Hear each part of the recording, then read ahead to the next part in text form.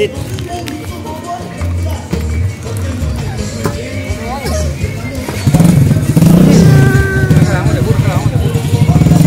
a mirar cuántas personas se van en la moto, dónde la dejan.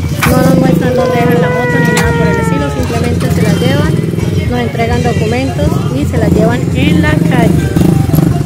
Constancia de que se la llevan en.